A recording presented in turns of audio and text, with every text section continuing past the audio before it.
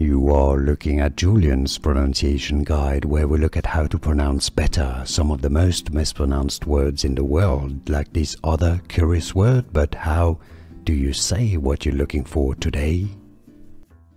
Name pronunciation for more confusing medical terms and vocabulary from anatomy. Make sure to stay tuned, we've got tons coming up more on the channel and at the end of the video. Hemolymph. He hemolymph. Some may pronounce it also as hemolymph, but generally in English, English pronunciation, hemolymph.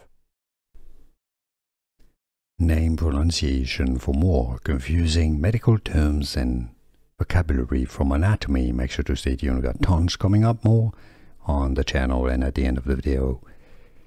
Hemolymph. He.